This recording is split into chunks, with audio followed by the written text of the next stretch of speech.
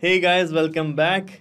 In this video, I'm going to discuss about one of the most powerful feature of Pabbly Connect which can implement if-else logic condition inside your automation workflows.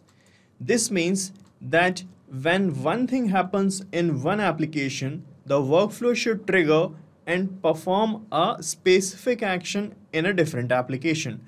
But if another thing happens in the same trigger application, the workflow should perform a different action in a in the same application, okay, or in a different application. So this is called a if-else logic condition and you can apply this inside your automation workflows using router feature of Pabbly Connect.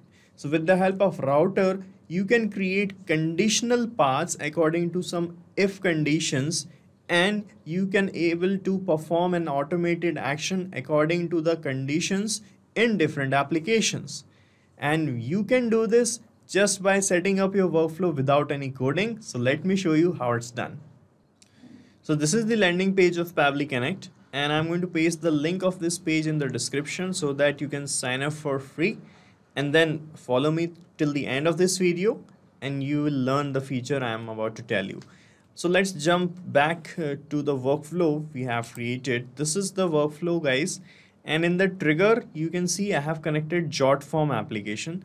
So uh, our trigger is that uh, I have created a form and when someone fills the form this workflow should trigger and in the form I have uh, options available for the form submitters let me show you the form so guys this is the form I have created and here I am asking the name of the people the email address phone number and here I have this choose your gender option.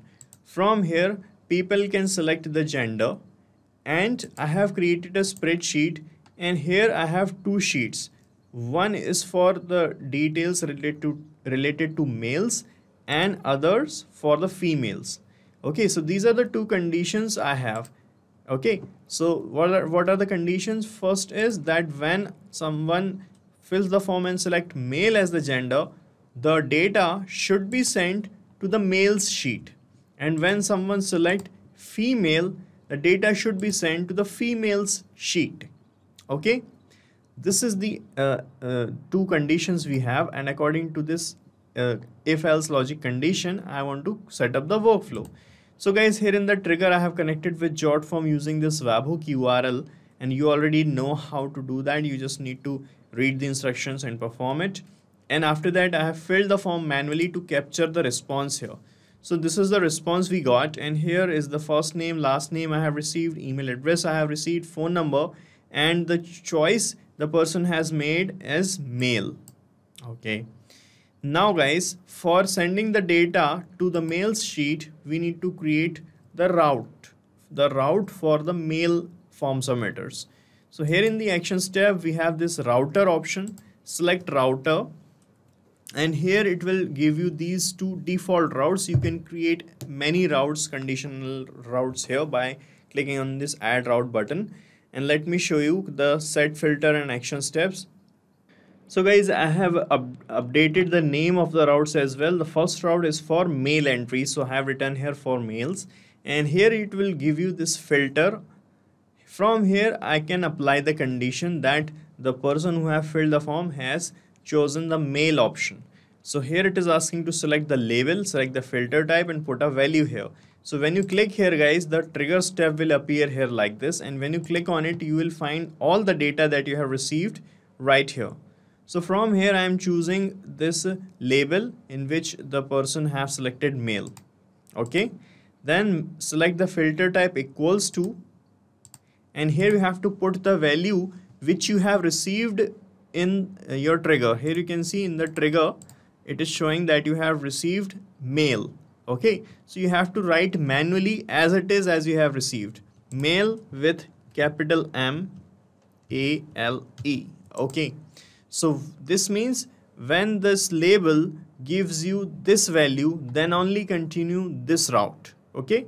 So click on save and send test, uh, save and send test request button. And here you can see the message, this condition is true. So when this condition is true, what we want, we want to perform an action in Google Sheets. So click here on this plus icon. and select Google Sheets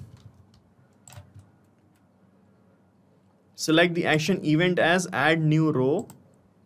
Then click on connect. From here made the connection with Google Sheets by signing in. I have already made the connection so I'm going to use my existing connection. I'm clicking on save. And you can see we are connected. And here you have to select your spreadsheet's name. My spreadsheet name is this gender wise details.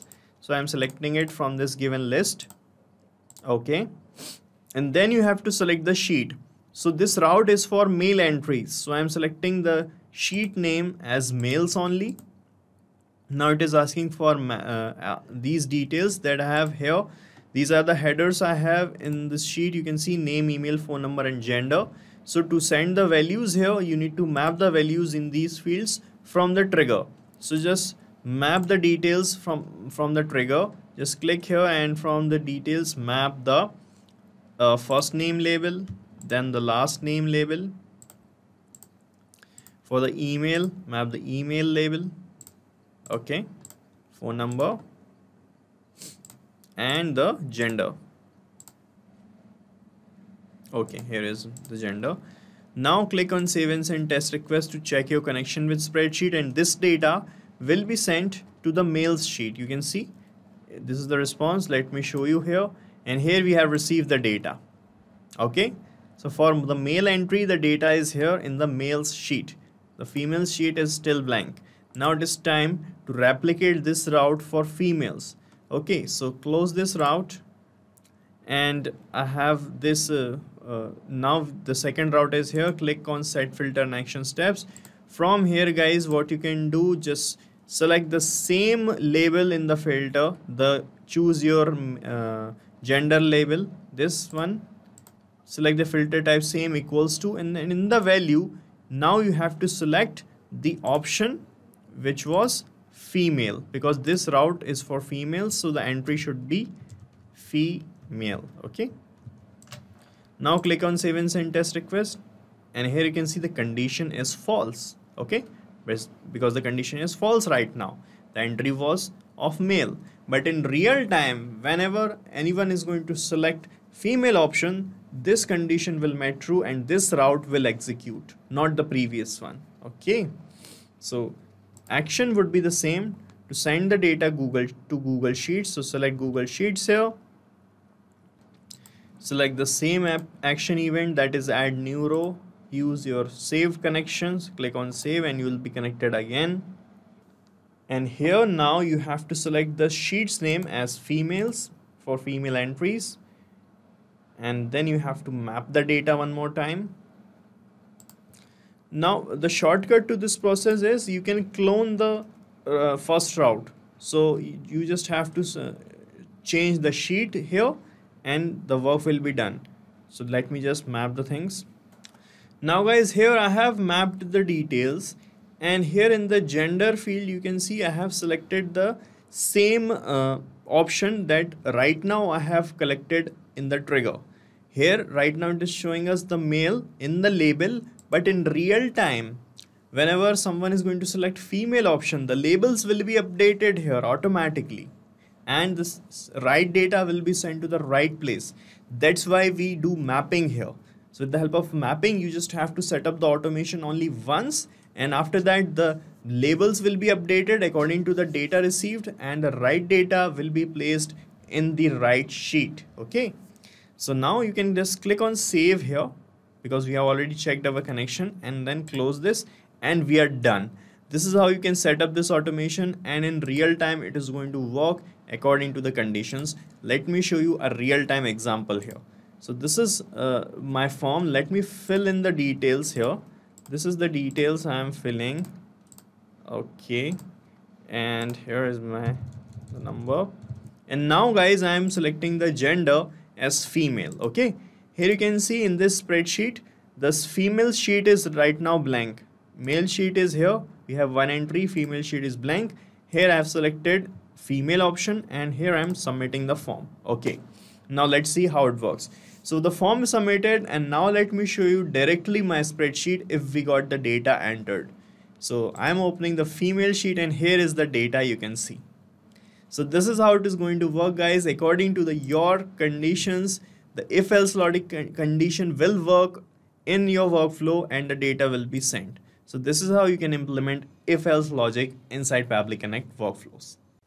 Guys, if you want to connect with our support team, you can email us at support at the You can ask and discuss your queries on our forum via this link and you can check the pricing plans of Pabbly Connect via pabbly.com slash connect hashtag pricing.